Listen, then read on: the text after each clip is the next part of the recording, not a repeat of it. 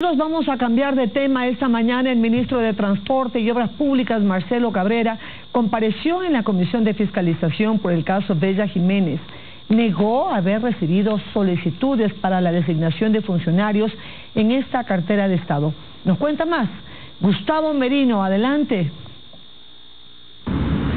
Así es, muy buenas tardes. La Comisión de Fiscalización de la Asamblea Nacional recibió al ministro de Obras Públicas, el señor Marcelo Cabrera, quien vino a responder sobre el chat de la asambleísta Bella Jiménez. El secretario de Estado confirmó que existió la reunión como otras 50 reuniones con asambleístas, pero dijo que nunca le han solicitado cargos públicos.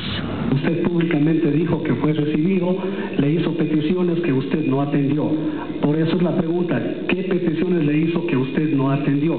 Nunca he tenido con la señora Jiménez ninguna relación de amistad y cuando hemos coincidido ha sido eh, dentro del campo profesional. De otro lado, en la Asamblea también se presentó un nuevo proyecto de reforma a la ley de Contraloría que con este suman ya nueve proyectos que piden cambios en esta institución para evitar que se repitan hechos de corrupción en la máxima institución de control del Estado. Eh, estamos pidiendo en estas reformas que el Contralor General del Estado sea elegido por una sola vez y no como es actualmente de manera indefinida.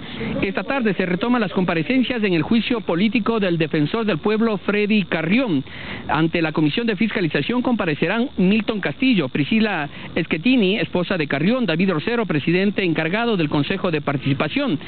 Y un dato final que tenemos que dar, en la tarde de hoy también rendirá una rueda de prensa el asambleísta Elías Cachero, a quien también se le presentó un chat con presunta gestión de cargos públicos. Hasta aquí la información, retornamos a estudios con más noticias. Buenas tardes.